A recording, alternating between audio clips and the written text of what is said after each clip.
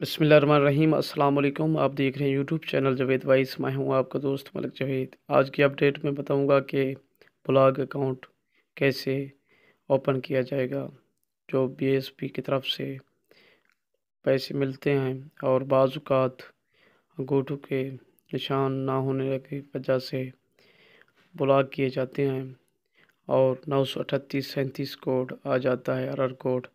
और इसके हल के लिए क्या तरीक़ाकार है देखिए वीडियो में और बताता हूँ आप सबको। ज़रूरी हदायत, अगर अंगूठा या उंगली के निशान की तस्दीक ना होने की वजह से आपको Benazir income support programme का वजीफ़ा अब नहीं मिल रहा या एहसास कफालत की रकम नहीं मिल रही तो पहले आप किसी दूसरे अदायगी मरकज़ पर जाकर बायोमेट्रिक मशीन के ज़रिए फ़ंड्स हासिल करने की दोबारा कोशिश करें। याद रहे। एक मशीन पर आठ दफ़ा अंगूठों के निशान की तस्दीक की कोशिश की जा सकती है। अगर इस कोशिश के बावजूद आपके उंगलियों के निशानात की तस्दीक के ज़रिए अदायगी नहीं हो पाती तो फिर दिए गए तरीके के मुताबिक अमल करें। और इसके तरीके चार हैं। सबसे पहला तरीका यह है कि नादरा के दफ्तर में जाकर आप उंगलियों के निशानात की तस्दीक करवाएँ। और दूसरा तरीका नादरा में भी उंगली के निशानात की तस्दीक ना हुए और तो कैसे उसको हल किया जाता है? तो कुंबे के शनाख्ती कार्ड के हामिल शख्स के साथ करीबी बीएसपी के तहसील दफ्तर जो आपके नज़दीक है, वहाँ जाकर मुतल अफसर को उंगलियों के निशानात की तस्दीक ना होने की शिकायत दर्ज करवाएँ। नंबर तीन मुतल अफसर आपके उंगली निशानात की तस्दीक के बगैर अदायगी का फार्म पुर करेगा।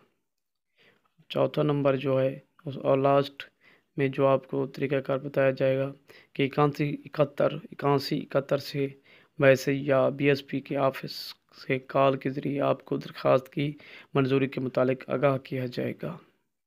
इस्लामाबाद, सूबा, पंजाब, सिंध या बलूचिस्तान से ताल्लुक़ रखने वाले मुस्तकिन के लिए हदायत है कि आप अपने उसी शनाख्ती कार्ड के हामिल रिश्तेदार के साथ हबीब बैंक की बताएगी ब्रांच में तस्दीक के बाद आपको मंजूर शुदा वजीफ़ा और इसास की रकम दी जाएगी।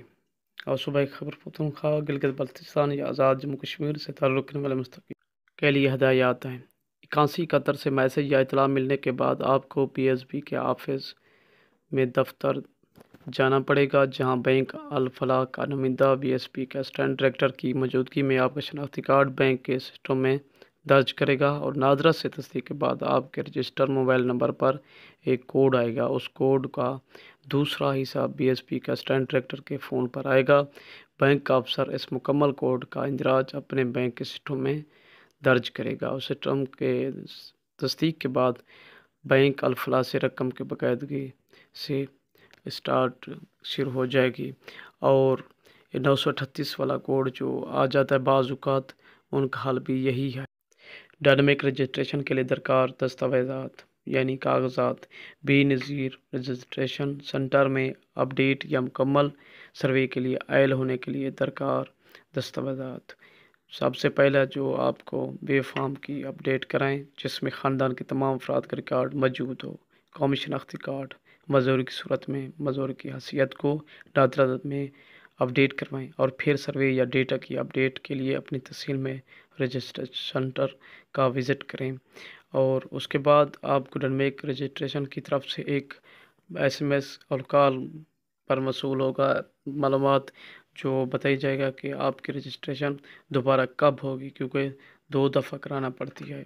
उसके बाद आपको बताया जाएगा कि उर्बल स्कोर आपका कितना है, चालीस से कम होगा तो फिर आपको अहल कर दिया जाएगा। अगर ज़्यादा होगा तो नाअहल कर दिया जाएगा। उसके बाद आपकी जो वजीफ़े की रकम है, जो छोटे बच्चों को मिलती है, उनकी रजिस्ट्रेशन सेंटर के लिए आपको जाना पड़ता है। वहाँ पर आपसे कुछ दस्तावेज़ात मांगेंगे, जिसमें फार्म बे फार्म स्लिप और टीचर हजरात के साइन वगैरह की ज़रूरत होती है। उसके बाद बच्चों की रजिस्ट्रेशन हो जाती है और बच्चे की रकम, बच्चे की माँ यानी वालदा जो बी एस पी ऑफ़िस से तस्दीक के बाद उनको किस्त मिलती है, उन किस्त के साथ उनकी साम किस्त के में वजीफ़े की रकम भी आ जाती है और वो वसूल करती हैं। बाज़ात बहुत सी खातन अपनी रकम वसूल करते हैं, लेकिन बच्चों की रकम नहीं देखते, जिसके बाद डिवाइस एजेंट अपने पास रख लेते हैं। तो याद रखें, अपनी रकम वसूल करने से पहले पूरी रकम और रसीद वसूल करें। ताकि आपको पता भी चल सके कि बच्चे की रज, जो रजिस्ट्रेशन कराई थी उनकी वजीफ़े की रकम आई हुई है या नहीं। और अगर मेरी वीडियो आप तमाम लोगों को अच्छी लगे तो मेरे चैनल को सब्सक्राइब लाइक कमेंट ज़रूर करना। मिलते हैं एक नई वीडियो में। आप अपना बहुत सा ख्याल रखेंगे। अल्लाह हाफिज़। शुक्रिया।